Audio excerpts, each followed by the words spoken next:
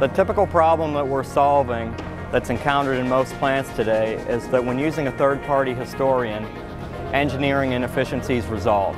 And those engineering inefficiencies are related from everything from uh, configuration of the third-party historical points to the external access to the data stored in the third-party historian. 800XA history is a fault-tolerant, high availability, and high performance long-term data repository that's used for the storage of both time series data and alarm and event data.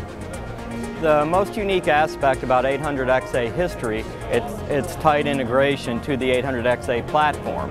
Because of that, when you engineer a tag within 800XA, there's automatic synchronization between the XA platform and the 800XA history environment. This results in significantly reduced engineering cost, not only in the configuration aspects of the historian, but also the engineering hours related to all aspects of data retrieval.